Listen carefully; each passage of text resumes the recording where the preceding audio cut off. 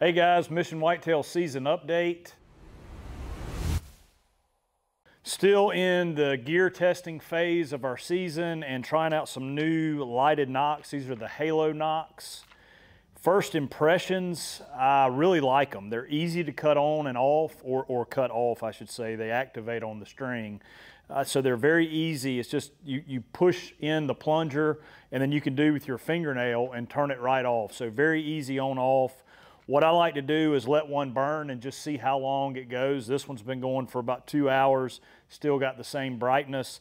I'll shoot them for accuracy and then I'll shoot them a whole lot just over and over, turn them off and on, off and on, just to see how they, you know, kind of stack up with some of the other ones we've tested. And then I've got a hunt coming up this weekend in Texas for axis deer. So hopefully get to shoot one through an axis and see how it does going through an animal. And then I'll take them over to Botswana the end of the month. We're gonna hunt some plains game over there. So gonna have a lot of intel on these new Halo nocks, but excited to give them a try. They're light and I like the back of my arrow to be lighter.